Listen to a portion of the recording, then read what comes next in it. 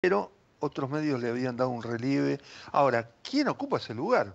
Y bueno, hay algunas novedades que Federico González, este, en este caso el, el titular director de Opinión Autenticada y Asociados, nos va a explicar respecto de una encuesta que acaba de realizar en 1.800 casos a nivel nacional. ¿Cómo está Federico? Luis Lauge para Trabajadores y Empresarios. ¿Qué tal, Luis? ¿Cómo te va? Muchas gracias por el llamado. ¿eh? Al contrario, Federico, un gusto como siempre, porque intuiste, bueno, no, la verdad que era un tema que estaba en la opinión pública, pero ayer escuché inclusive que te rebotaron muchos medios porque eh, intuiste y llevaste a, la opinión pública esto, quién ocupaba y quién capitaliza los votos de mm, una de su rechazo a la postulación presidencial de Mauricio Macri, que para mí yo ya definí mi postura respecto de su importancia o no, pero en el caso tuyo eh, hablaba, daba una encuesta muy reveladora al punto de que la ubican sin Macri, por supuesto, con una encuesta con Cristina Fernández de Kirchner ahí en la lista y sin Cristina Fernández de Kirchner y en cualquiera de los dos casos está adelante Patricia Bullrich por encima de Horacio Rodríguez Larreta. ¿Esto es así para vos? Eh, sí, efectivamente es así. Eh, yo tenía una intuición que no era nada original. Teníamos datos que nos indicaban que los votantes de Mauricio Macri eran más afines con Patricia Burri que con Horacio Rodríguez Larreta, pero sinceramente, eh, bueno, esperaba que mm, de esos 9,4 que medía Macri, ahora te digo de dónde lo sacamos, esperaba que, bueno, que fueran más a, Burri que a Larreta. Ahora, lo que me sorprendió es la magnitud, porque el 74% de, de esos 9,4 o sea, más o menos deben ser unos 7 puntos, fueron para Patricia Bullrich y solo el 12%, que más o menos era un punto, fueron para, para la reta. Y concretamente... 7 a 3, 7 a 3. Eh, no, 7 a 1. 7 a 1, eh, perdón. Porque es 73, eh, no tengo, bueno, después creo que era 73,5 contra un, 2, acá, está, acá lo tengo, 73,8 contra 12,6. o sea que bueno, es una diferencia abismal. Entonces, en base a eso, eh, cuando un, ah, porque la pregunta, ¿de dónde sacamos que eh, Macri tenía 9,4? Eh, de la misma encuesta, porque preguntamos, ¿a quién votaría ahora? Y la segunda pregunta era, supongamos que Mauricio Macri se hubiese presentado, entonces, ¿a quién habría votado? Entonces, esos 9,4, nos dio 9,4, esos son los que después se reparten, como te acabo de decir. Entonces, antes es decir, si hubiese estado Macri, los números eran eh, Patricia Bullrich 11.7, Macri 10, eh, perdón, eh, Macri 9,4 y Horacio Rodríguez Larreta tenía 6,5. Pero después, es decir, después de esa redistribución, Patricia Burro tiene 20,7 y Horacio Rodríguez Larreta tiene 10,1, es decir, que lo duplica. bueno, y te soy sincero, a mí me sorprendió mucho y podría decir, bueno, quizás tema de muestreo puede estar un poco exagerado. Sí, todo eso lo concedo, pero hoy para mí no es que Patricia Burri le gana por un poquito, le gana por mucho. Así que bueno, ese es el dato que reveló la encuesta. Sí, y una cosita que te quiero preguntar, porque vos haces además la discriminación entre población general y el porcentaje sobre la interna. Es decir, ¿Qué opinaban también los que no están en la interna? Y en tanto a nivel de la población general como, por supuesto, en la interna, hay una prevalencia de Patricia sobre Rodríguez Larreta. En los dos sí, absolutamente. Eh, Patricia Burri, dentro de la interna, tiene un 54,1% y Horacio Rodríguez Larreta un 26%. Después, bueno, después están los radicales, Manes, Morales. María Eugenia ah. Vidal, del PRO, eh, yo escribí un artículo eh, y me acordaba de el tango, la vergüenza de haber sido el dolor de ya no ser. Mauri, eh, Mario General tiene uno, creo que 1,2 por ahí. Eh, bueno, es muy bajo, ella estuvo a punto de ser candidata a presidente en el 2019 con aquel plan B, Y bueno, implosionó como implosionó Carrió de cuando casi entra en el balotaje en el 2007 y después en el 2011 creo que sacó el 1%. Eh, así que bueno. Muy buen dato, muy buen dato. Pero además, eh, adhiero a una cosa. Eh, que no en este caso solamente vos, no solamente no lo viste, sino que hasta ahora, no sé si sos el único encuestador que lo da así, porque en general otros daban a la reta por sobre Bullrich, ya lo dijimos, pero además estoy viendo que en la pelea dentro de Juntos para el Cambio para tener un candidato, si, si Gerardo Morales se presenta con este porcentaje a una interna, va a perder escandalosamente, porque el porcentaje de, Gerardo Morales, el presidente del radicalismo, aclaramos a la audiencia, es también bajo.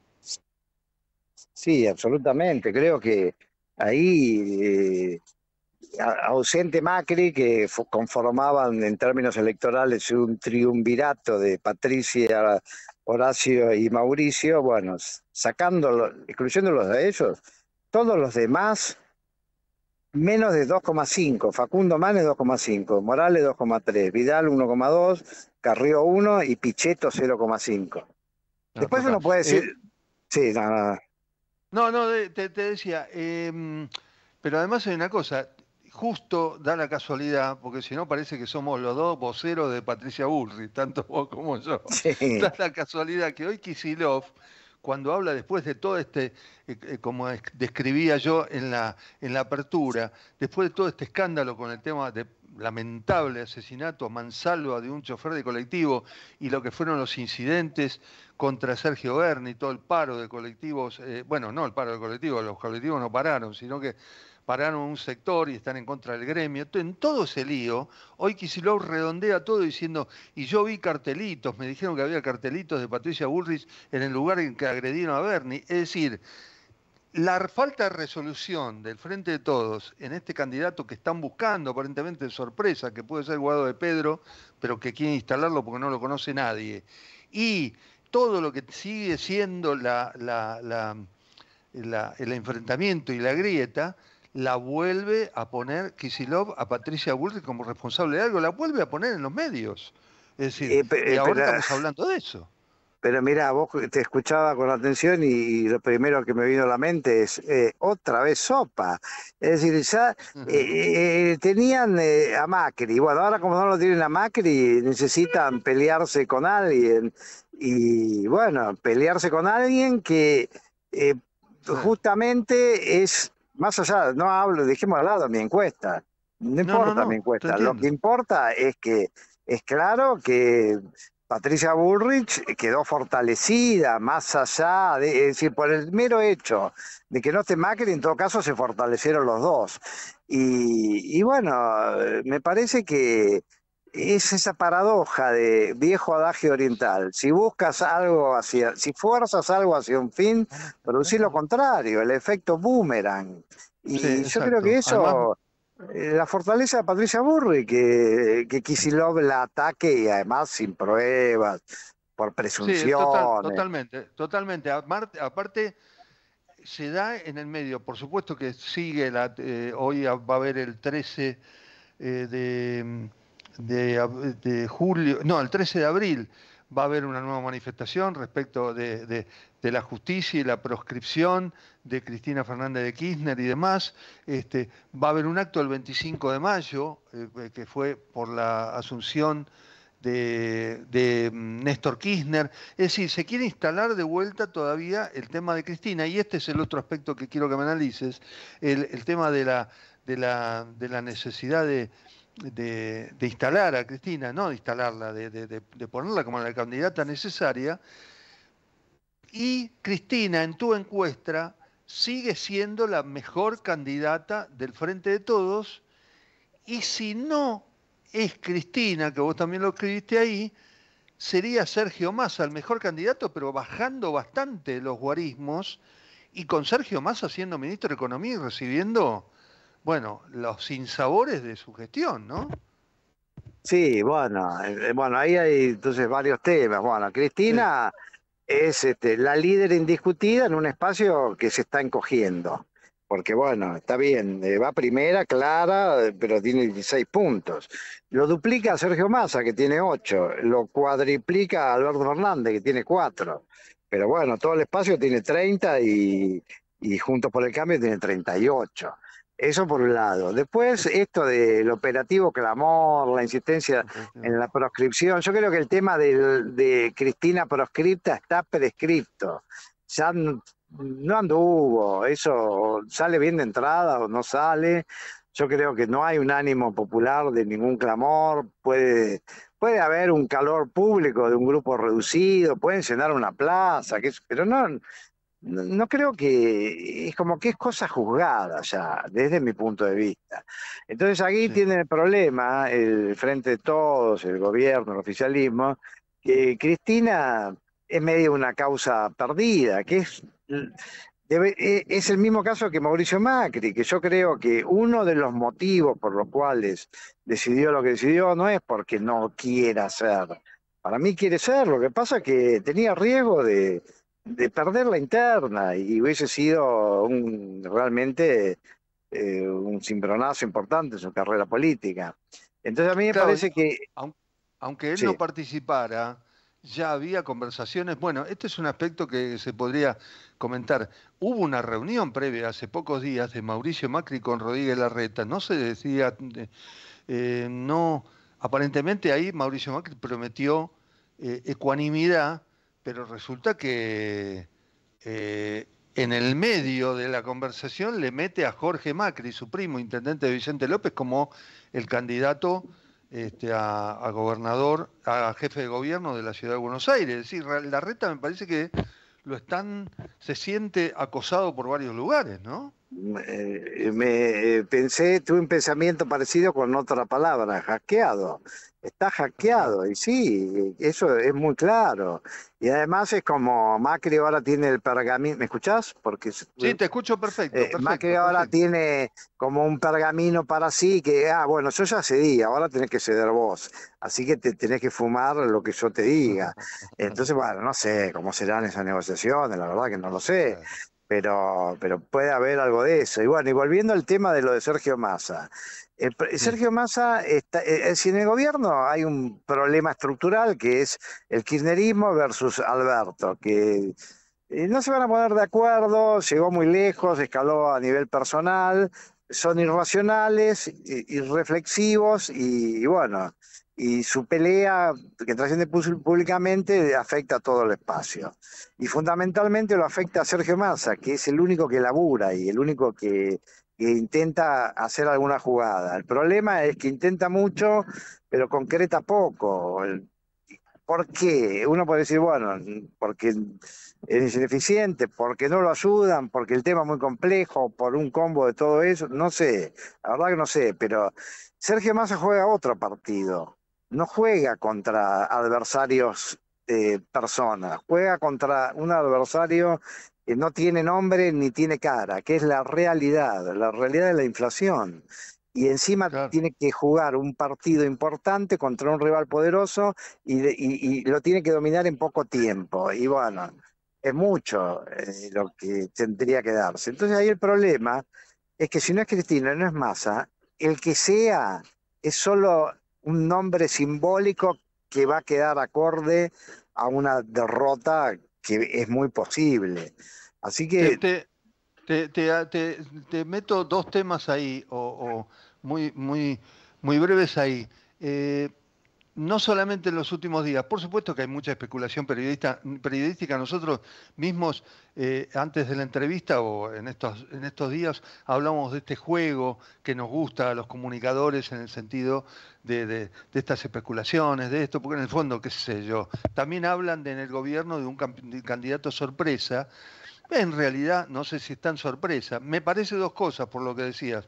Una, si Guado de Pedro, Eduardo de Pedro, viene a ser el ministro de Interior, un hombre, mira vos, un hombre de hijos, de la agrupación Hijos, muy kirchnerista, pero que también es muy amigo de Alberto, es decir, como candidato, ¿se podría llegar a instalar desde el gobierno un candidato como de Pedro? Y otra, ante la magnitud de la pobreza que hay, que no llegan a instalar un candidato si no es Cristina, también Alberto Fernández no se descartaría porque no le va tan mal en los números al lado de todo ese panorama pobre que tiene la candidatura oficial, ¿no?